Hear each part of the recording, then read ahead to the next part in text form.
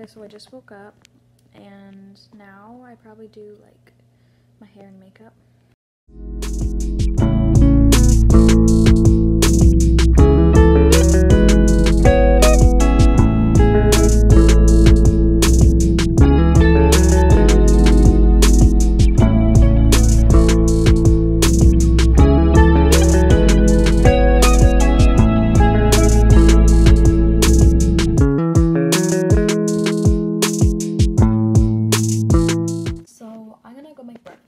Guess I can eat iced coffee and a grilled cheese.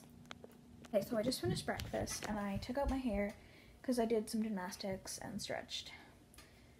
And that's pretty much it.